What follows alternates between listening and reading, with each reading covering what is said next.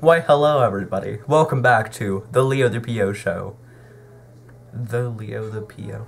That sounded weird, but I guess it's right. Um. I can't wait for the new Half Life to come out. I'm glad that VR is getting way more accessible because I don't have VR headset.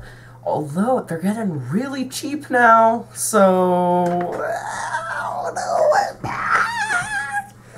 Um, plus, since it's a Valve game, Half Life Alyx is going to be releasing with native GNU Linux support, which is really nice.